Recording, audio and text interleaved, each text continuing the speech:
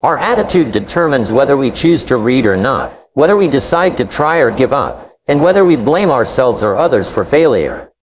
It dictates whether we tell the truth or lie, act or procrastinate, advance or recede.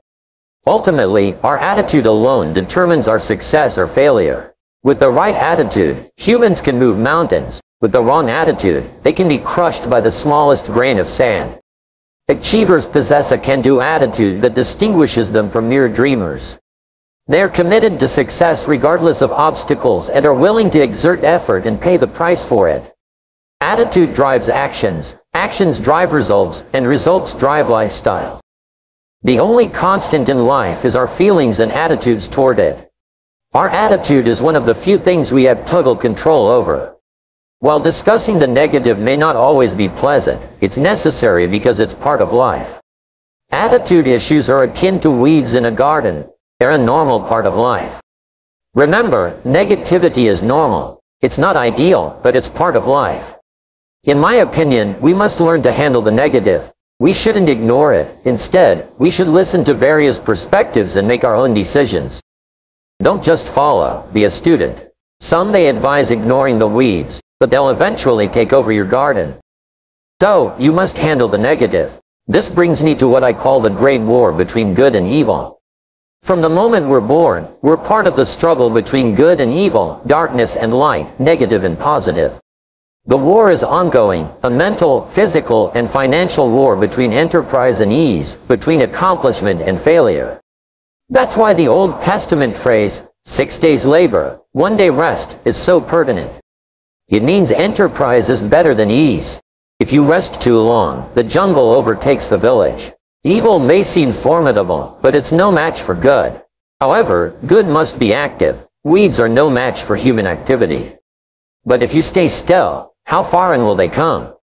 All the way. They'll grow right up around your shoes. But if you get busy, how far back can you take them? As far as you wish. They are no match, but you must be active. That's why the 6 and 1. Make sure you're not losing the war by taking off too much. Guess what the average years are after retirement? 6, which means don't retire. Your chances are too slim. The war between good and evil, the weeds, You've got to make sure you recognize the negative, handle it, deal with it, and then go on. Let's make a list of the diseases of attitude that can wreck all your chances to do well. One of the words that destroys everything is called neglect. And I found this out. A week of neglect could cost you a year of repair. Is it worth it? So, what to be on the lookout for? Here's the list. If you were making it, you'd have the same list I've got. We're not covering anything new tonight. This is a reminding session, not a teaching session. But it doesn't hurt to go over it again. Here's the list. Attitude diseases. Number one is indifference, the shrug of the shoulder. The guy's not even concerned, he's just drifty. This is called the mild approach to life, the disease known as mildness. The guy says, well, I can't see getting all that worked up. Well, to be any kind of winner, you've got to get worked up. There's one problem with drift. You cannot drift to the top of the mountain. And the good Lord said in the closing chapters of the Bible, here's the best way to live, one way or the other. That's best, hot or what? Next best. Cold is next best to hot. Not the half-baked middle, lukewarm. Not too hot, not too cold. What a sad way to live. I think what it means is pick a direction and go with everything you got. Just pick one and go. Somebody says, yeah, but what if it's the wrong direction? You will find out quicker. It won't take you 25 years to wake up and say, oh no, I've been walking the wrong road. I told my staff the other day, next best to prosperity is adversity. If one doesn't get you, pray for the other. We all do better from one of two reasons, inspiration or desperation. And I don't wish anything bad on you tonight, but if you're not inspired, I hope a wagon comes down your rut. Whatever it takes to get you to try harder, Read more, set your goals, and go for it. Somebody asked me one time, what quality would I pick if I wanted to work with somebody? And you know what I picked first? Number one. Strong feeling. Please, number one. Give me somebody that feels strong about most anything. I don't even care, just so they believe it. Even if they disagree with me, wonderful. Just so they disagree vigorously. I'm not saying it's easy to win those kinds of people to your point of view, but I'd rather do that than try to resurrect people from the dead pump them up every month. Pump them up. I pass pump. Here's the key to the good life. Learn to put everything you've got into everything you do. Whatever you are doing, pour it on. It will quickly open up into opportunity or quickly disclose to you that you ought to be doing something else. The delusion is if I had a better job, I'd really pour it on. See, that's delusion. Wherever you are, pour it on. Don't give somebody half a job for a day's pay. Pour it on. See, that will help change your life. Get rid of this disease. Here's the next attitude disease. Indecision. It's mental paralysis. The guy can't make up his mind, and it becomes a disease. Pretty soon, he knows he's got it. The guy says, well, I know I'm on the fence, but what if I get off on the wrong side? Listen, after a while, it doesn't matter. Just get up. Any side will do. A life full of adventure is a life full of many decisions. The ones that turn out to be wrong give you a better experience to make better decisions. So, don't see how many decisions you can get out of. See how many you can get into. That's where the adventure is. So, shake off this disease, indecision. The next one is doubt. Doubt is like a plague, and one of the worst is self-doubt. There are many, but that's one of the worst. The guy doubts himself, doubts if it will last that long for him, doubts if he can do that well, doubts if he can make that much, doubts if he can accomplish all that. Chronic, excellent self-doubt. You can imagine what damage that does to your future. So, here's the key. Turn this coin over and become a believer. And there are many things to believe in. One of the majors is yourself. The understanding of self-worth is the beginning of progress. Now, if those three don't get you, this one will. Worry. That's a devastating disease. Worry causes health problems, social problems, personal problems, family problems. It's devastating. Worry long enough, and it'll drop you to your knees, could reduce you to begging. I know how bad this one is. I used to have it bad. I used to be known as a super warrior. Not a super warrior. No, super warrior. My family wished I'd have been a warrior. I've got those years to make up for. But I'll tell you what my advice to you is. Do what I finally did on worry. Give it up. Who needs it? I'm not saying it's easy. I'm saying it's worth it. It took me almost one year to kick the worry habit, and it was not an easy year. It was one of the toughest years I ever spent. But I finally got that monkey off my back, and I discovered you could live the most incredible life, free of worry. Not free of challenge, not free of difficulty, free of worry. I learned how to do it, and you can. Here's the next attitude disease, overcaution. Some people never will have much, they're too cautious. Now, you can also be too reckless, but you can also be too cautious. This is called the timid approach to life. And my caution was always the risk. Risk used to drive me right up the wall. I used to say, what if this happens? It's called the language of the poor. What if this happens and on top of that, if this was to happen, look at the fix I will be in. I better not try. I could always ace myself out. Then I'll tell you what changed my whole life. When I finally discovered it's all risky. The minute you were born, it got risky. If you think trying is risky, Wait till they hand you the bill for not trying. If you think investing is risky, wait till you get the tab for not investing. See, it's all risky. Getting married is risky. Having children is risky. Going into business is risky. Investing your money is risky. It's all risky. I'll tell you how risky life is. You're not going to get out alive. That's risky. The Englishman says, well, if that's the way it's going to work out, let's give it a go. Right, that's what it's for. Give it a go. Somebody says, yeah, but I'm looking for safety and security. Fine, then huddle in the corner. We'll cover you with a sheet, bring you three meals a day, and we'll protect you, feed you, look after you, care for you. We won't let anything happen to you, and you'll probably live to be 100. The guy said, well, yeah, I'd live to be 100, but what a way to live, right? What a way to live, safe and secure. Don't ask for security, ask for adventure. Better to live 30 years full of adventure than 100 years safe in the corner. And see, it's not important how long you live. What's important is how you live. Here's another attitude problem, pessimism. It's about always seeing the downside, the problems, the difficulties, and finding reasons why things won't work. Pessimists live ugly lives, always looking for faults instead of virtues. They're the ones who see specks on the window instead of the sunset. They rush to point out five reasons why something won't work when one would do. For them, the glass is always half empty. Optimists, on the other hand, see the glass as half full. It's all about perspective. Our lives are shaped by how we think things are, not necessarily how they are. There's something called better thinking habits that we don't have time to discuss tonight. But one thing my mentor taught me is that poor thinking habits keep most people poor, not poor working habits. What we think about all day long shapes our lives. As the saying goes, as you think, so you become. I used to start my days reading negative news, but I learned it was poisoning my mind. What we read influences our thoughts, so it's crucial to fill our minds with positive material. I was once asked by students how to build a good life. I said it's simple, simple but not easy. Select the right thoughts and keep out the wrong ones.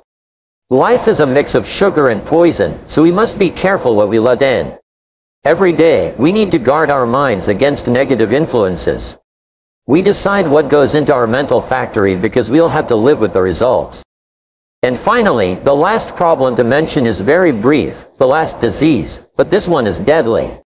Engage in this one, indulge in it even slightly, and you might as well forget the future because it's going to forget you. Complaining, crying, whining, griping, a Bible word called murmuring.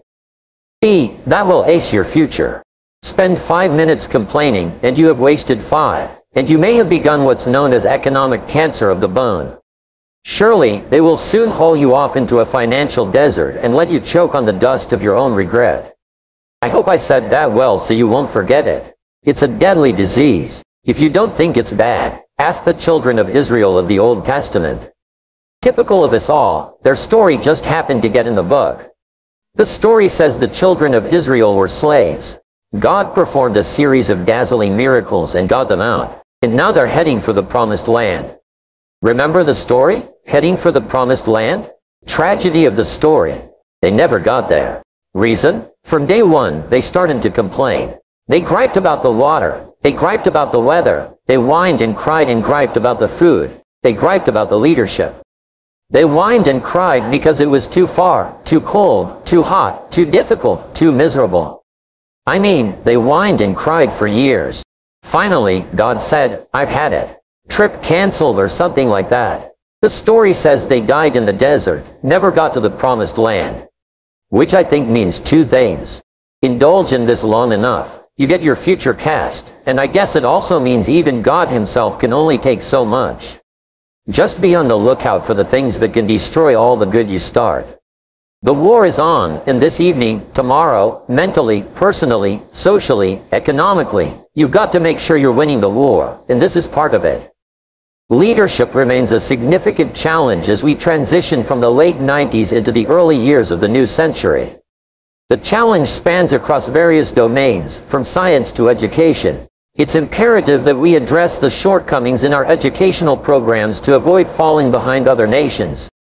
Remarkable leadership is required in politics, industry, sales, and management. The leadership role is particularly challenging for the next century. Leadership is the challenge to rise above mediocrity, to step up to a new level, a new dimension. This new dimension brings both opportunity and responsibility. Who wouldn't want the responsibility alongside the opportunity if it builds an extraordinary life? Here are some refinements in leadership. Learn to be strong but not rude. Some mistake rudeness for strength. However, we require strength without resorting to rudeness. Learn to be bold but not a bully.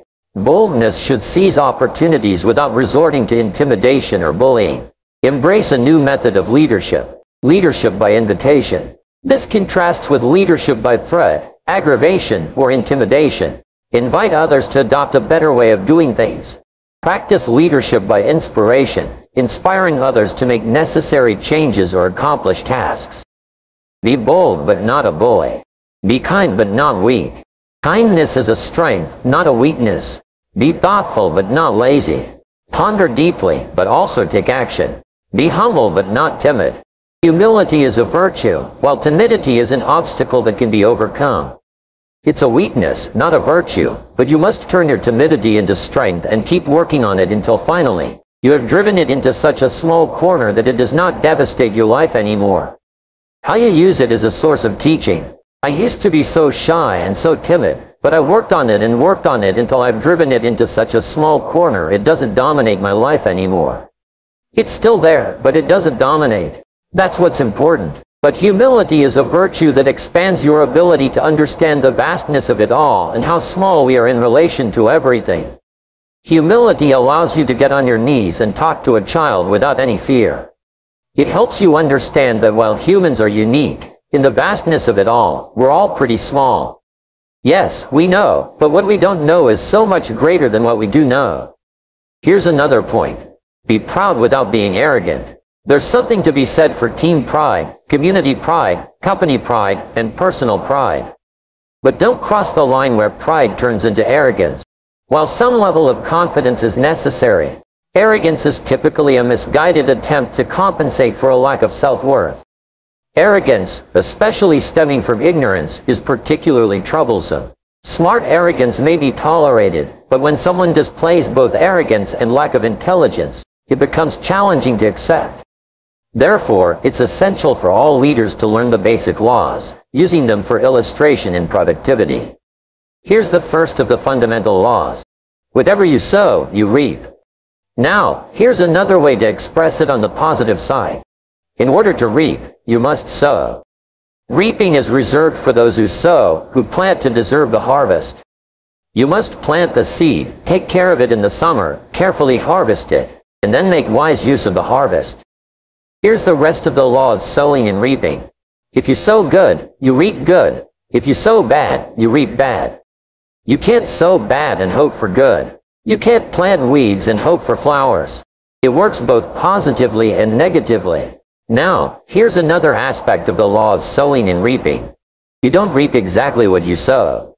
That's important to understand. You reap much more than what you sow. If you only reap what you sow, what's the point? No, we don't reap exactly what we sow. We reap much more. Now, here's what's important to understand about that. It works both positively and negatively. The old prophet said, if you sow to the wind, you don't reap a wind. You reap a whirlwind. You have to be careful not to sow to the wind. It doesn't come back as a world. That's on the negative side, but it also works on the positive side. If you plant a cup of corn, how much do you get back? A cup? No, a bushel. For the cup you plant, you get back much more than what you plant. That's the reason for planning for the increase, positive and negative. Now, here's the next key to the law of sowing and reaping. Sometimes, it doesn't work at all. Everybody has to understand. The farmer plants the crop in the spring, takes care of it all summer, is an honorable man, loves his family, is a decent citizen. But the day before he sends the combines into the field, a hailstorm comes along and beats his crop into the ground, and it's gone, lost. So, this time it didn't work. Now what must the farmer do? He's got to decide whether to do it again or not. Should he take another chance in the next spring? We would advise him to do so, even though he lost everything in the last harvest and it didn't work. You don't always reap what you sow. But here's the law of averages. Here's the odds. More often than not, you reap what you sow. More often than not, you'll have a harvest if you plant in the spring. Sure, there's no guarantee, but more often than not, and guess what? More often than not is pretty good odds, better than Las Vegas. The law of sowing and reaping. In fact, one of the most important laws to learn is the law of averages. If you do something often enough, you'll get a ratio of results. Once you understand that, the world is yours. Learning to employ people in the unique thing called the law of averages is stunning in its result in terms of fortune. Let's say you're in sales and you talk to 10 people. Just getting started, if you talk to 10, you get 1. We now have what we call the beginning of a ratio. Saying no one says yes, I'll buy your product, I'll take your service. Somebody says, well, 1 out of 10 isn't that good. Well, you're just getting started, because here's what happens with the law of averages. Once it starts, it tends to continue. If you talk to 10 and get 1, that chance is excellent. Alright, You talk to 10 more, you'll get another one. In baseball, we call it batting average. Swing 10 times, get a hit. Swing 10 times, get a hit. Nobody bats 9 out of 10. So, you don't have to be perfect here. All you have to do is understand the law of averages. Now, even if you're only getting 1 out of 10, you can now start to compete. If you've been here a long time, you can get 9 out of 10. If you just joined, you can only get 1 out of 10. I'm telling you, if we have a contest, I will beat you. And you'll say, well, you just started. How could you beat me? It's very simple. If we have a 30-day run on a contest or a 60-day run, while you talk to 10 and get 9, I will talk to 100 and get 10. Win, isn't that clever? Here's what I do if I'm new. I make up in numbers what I lack in skill. Now, when my skills increase, I don't have to approach 100 to get 10. Once you understand the law of averages, I'm telling you, it's so exciting to work with it. The law of averages works in our little money plan here. You know, chances are excellent that this little plan will work. It'll work, it'll work, it'll work. The ratios will work for you. Here's what else is exciting. The law of averages can be improved. At first, you may only get 1 out of 10, but the better you get, the more skills you develop. Now, you get 2 out of 10, then 3 out of 10. You don't need more than about 2 or 3 out of 10 to get rich. And working with people, there's a unique story about the law of averages. It says the sower went out to sow.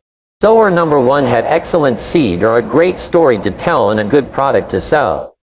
It says that the sower was ambitious, got up early in the morning, and went out to do the deal.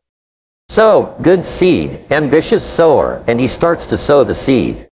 But here's what happens. Make a note. The first part of the seed that he sowed, the birds got. And the birds are going to get some. John said, Yes, I will come. Check out the meeting. See if that's an opportunity for me. He says, I will be there on Tuesday night. Tuesday night comes, John isn't there. You say, I wonder where he is. The birds, whatever form they come in, and he's not there. Somebody stole the seed. Somebody robbed him of the opportunity. Guess what you can do about it? Nothing. Well, you could chase birds, but I'm telling you, it's not a good deal. You say, well, I'll get a hold of John. Talk him out of not coming. I'll go straighten them out. I'm telling you, you've asked for more than you can handle. Here's what you should do. Here's what the sower did. He kept sowing the seed. Here's what you can do. If you stay busy, sow more than the birds can get. Just depend on the law of averages, not trying to straighten out every problem. So, the birds are going to get some, some.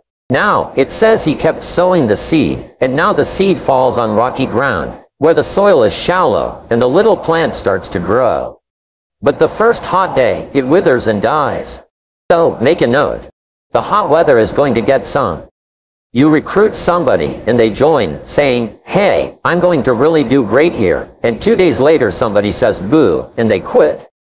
The first hot day, say what can you do about that? Nothing. Because if you start chasing, trying to fix this, I'm telling you, it's unfixable. But here's what you can do to fix your future. Keep doing like the sower did, tap on sowing. And you can't be responsible for the shallow ground. That's somebody else's responsibility. So, here's the third key. Now, he keeps sowing the seed, and now the seed falls on thorny ground.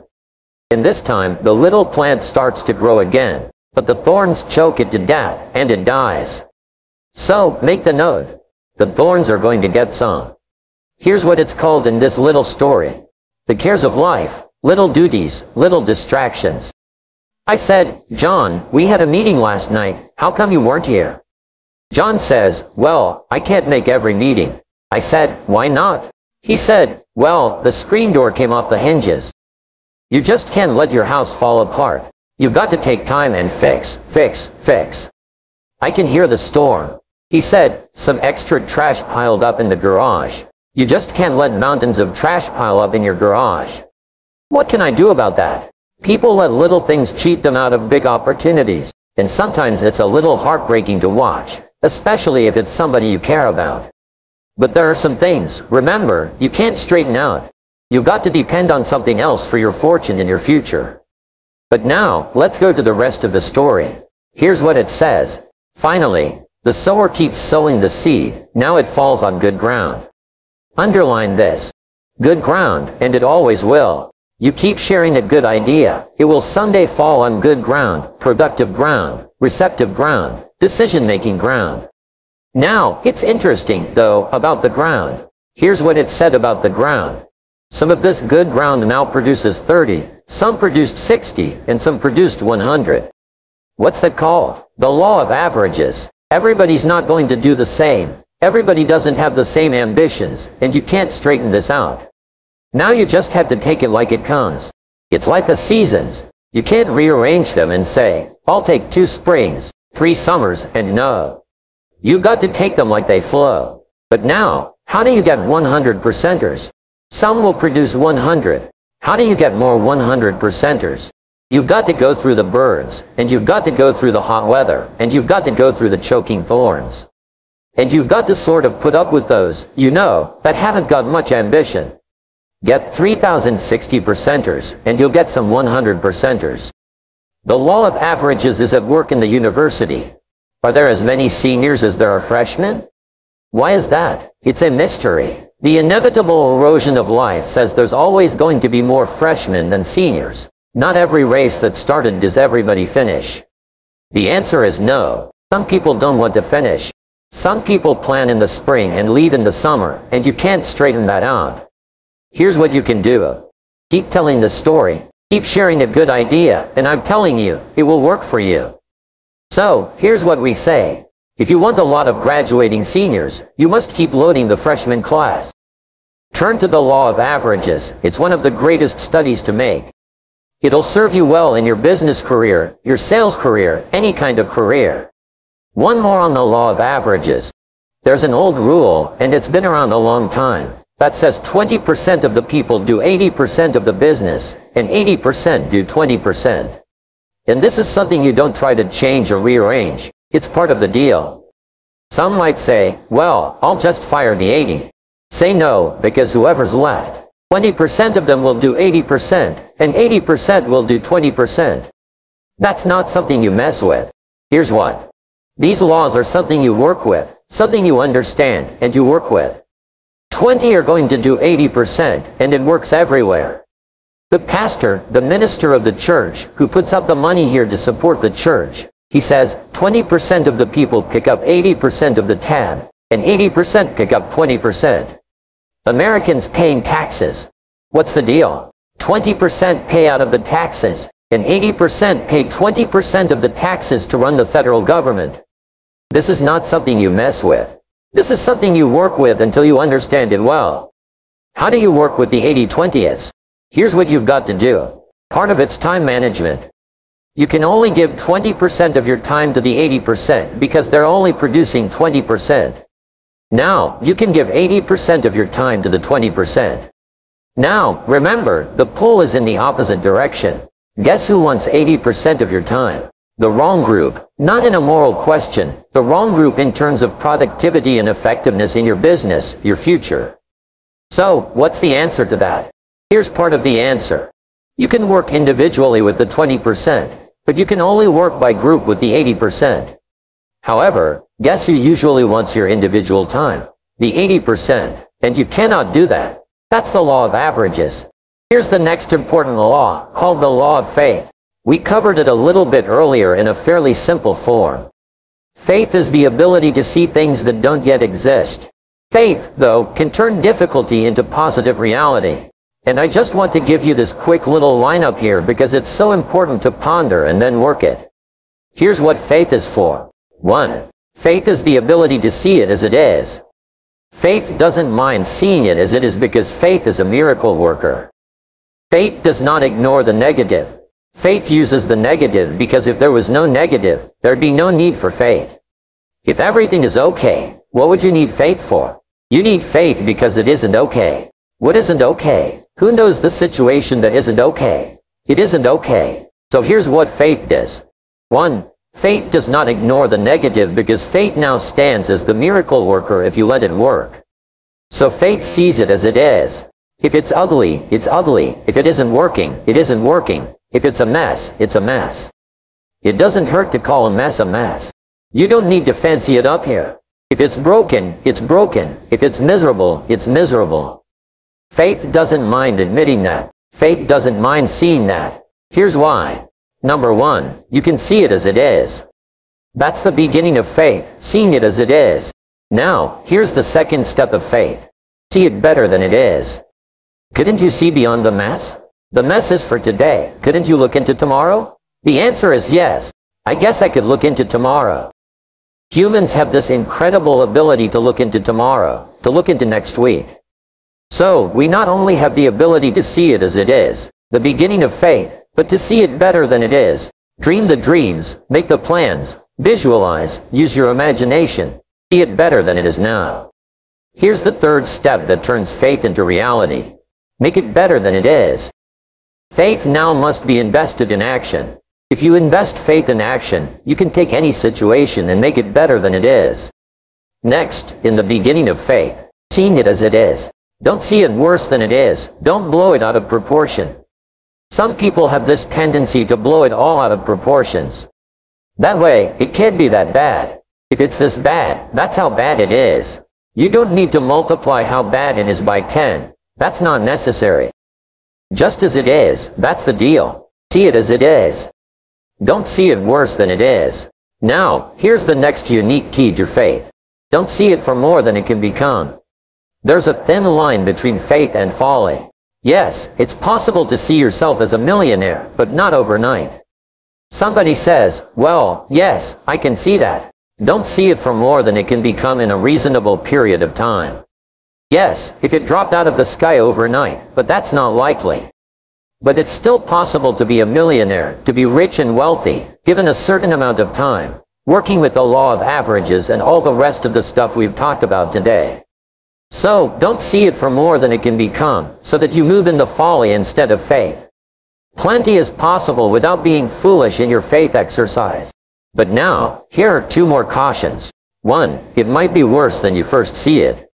You better look underneath because sometimes you just look at the surface. You better take a look so that you can really see it as bad as it is. It's not to overblow it now, but to make sure you see it as bad as it really is. Now, here's the next one. Give yourself a chance to understand that it could be far more in the future than what you can first see by faith. Here's all you can see. The miracles that we see here give us a certain amount of faith, but it looks like we need some more. We need some more. But you take the first step. Take the first step of what you can see, if possible to become. Start believing that. Have faith for that. And I'm telling you, as that starts to exercise, you'll be able to see it for more, and for more, and for more. The possibilities will start to increase in your own imagination. Now, make these notes in leadership, working with people, Learn to work with the people who deserve it, not the people who need it, because life operates by deserve. We studied that yesterday. Didn't the welfare people have said to Mary, Mary, look, I know you need the $400, but from now on, when I come back here with the check for $400, here's a bucket of paint and a brush. This little fence around here and the posts on the door have got to be painted. She says, okay, now, this little bit of paint's not worth $400, zero, but it's a step to begin the process of deserving it instead of just needing it. And you can start walking people away from need to deserve. Just let them take the early steps. Next time she comes and says, Now, Mary, if this is done and the weeds are pulled and all this stuff is done and the painting is done, and she starts to walk out. She starts to feel better because she's beginning to deserve it, not just need it. Isn't that big time philosophy, teaching people how to deserve it? Work with the people who deserve it. You say, Mary, if you take this step, I take two steps, and then if you take two more, I take four more. But if you don't take the first one, I don't. Step by step, right? You call, I call. You try, I try. You move, I move. Teaching people how to deserve it. It starts to accelerate self-esteem. You can't believe what a high the beginning of new self-esteem is if a person hasn't had it for years and years, and they've been beaten down by their own philosophy, and they've been beat down by everybody else. If you start them on the early steps, that starts this process of self-esteem. Self-esteem, the early self-esteem, is even more valuable than fortune because it comes at a necessary time. Leading people step by step into self-esteem and self-esteem leads to action. Action leads to progress, and progress leads to fortune. What else do you want? So work with the people who deserve it. Now, here's the next key. Show people how to deserve your help. Next, don't expect the pear tree to bear apples. Let people do whatever they can do. You can hang apples on a pear tree, do all kinds of things, put up a sign. This is an apple tree, and then you get pears. So let people do whatever they can do, and let them change their mind, let them grow and develop. Here's what I found. You cannot change people, but they can change themselves. The best you can do is inspire and hope, teach and hope, teach and pray, and hope, and teach and pray, and inspire and pray, and hope. That's the best you can do. You can't get in there and change, but you can do your best to deliver the message that can create change if someone will accept it, if someone will do something about it. Take the early baby steps to get started and be happy with the smallest progress and get some rewards and a pat on the back and a big smile. Say, Mary, it's going to work for you. You've taken these two steps. I'm telling you, you can take two steps. You can take one under two. Next, all leaders must teach the fact that there is both good and evil. Here's the challenge for all of us. To become the most of the good in us and the least of the bad. The most of the good and the least of the bad because that resides in all of us. That's the beginning we talked about the other day of civilization becoming the most of the good and the least of the bad. But we must remember there is both good and evil. I did a speech one time called, The Day I Am a Wealthy Man. It didn't have much to do with money, but let me give you the list, and we're finished. I said, Today I'm a wealthy man. One, because of my heritage, all that I inherited that I didn't work for. It just, I was blessed with it. One was my parents, one was my country. I was blessed by books I didn't write. I was blessed by a library I didn't build. I was blessed by courts I didn't organize. I was blessed by airplanes and telephones. I'm blessed by all that I didn't create. I inherited it. I inherited a country that believed in democracy and freedom. I mean, once you start this list of heritage, it's just staggering. Next, I said, I'm wealthy because of my knowledge. Those that have passed their knowledge on to me has made me rich beyond belief. Here's what I asked for one time a long time ago. Unusual awareness. I want to be sensitive to what's happening. Unusual awareness. Not only the gift of knowledge, but what's happening, what's going on so that I can use my knowledge to the best of my ability. I only asked of my daughters two things. That's all. My daughters, I only ask two things. Here are those two things. One, the highest respect for all life. Two, unusual kindness. That's all I ask the highest respect for all life and unusual kindness. Next, I'm a wealthy man because of my future. I have the pledge of goods and services of people you wouldn't believe doing business around the world, mega billions. You can imagine the extraordinary life I live. It's unbelievable. And the pledge of goods and services, the pledge of help and assistance, the pledge of camaraderie, the pledge of whatever. See, Mr. Rohn, what else would you like to do? Well, just go do it. You know, you want to build your own country? Sure, we'll do that. I mean, whatever you want, we'll just go do it. Can you imagine what that feels like? So whatever you want to do, there's plenty of resources all around the world to just go do it. That is so staggering. It's just unbelievable for me. Next, I want to leave you with this little challenge. Number one. Let others lead small lives, but not you. Let your life not be just acceptable, but memorable. Let others cry over small hurts, but not you. Let others waste their resources, but not you. And then here's two more, and I'm finished. Learn to help people with their lives, not just their jobs. We need to teach job skills, yes, but if you'll also teach life skills, weave it all into the teaching of job skills. Teach your children job skills, but then teach them life skills. And here's the last, my challenge for you. It comes from the old prophet. Here's what he said. If you work on your gifts, if you work on your abilities, if you work on your skills, if you work on your gifts, they will make room for you. They will make a place for you. If you become attractive, you'll have an attractive place. If you work on your skills, they will put you in unusual places. You don't have to worry about the place that is right now being prepared for you to qualify for the place. And if you work on your gifts, gifts of language, gifts of intelligence, gifts of faith, gifts of helping others, Gifts of influence. If you'll work on those gifts, you'll always have a place. I got two. That and be one of the great examples. Look where my gifts have brought me to this place. I worked hard on my gifts. I worked hard on my skills. I worked hard on my delivery. I worked hard on my ability to affect other people with language and words and experiences. And then my gifts brought me to unique places now around the world because my gifts. I worked on my gifts and made myself valuable enough to be invited to these places. The same thing is going to happen for you, without a doubt.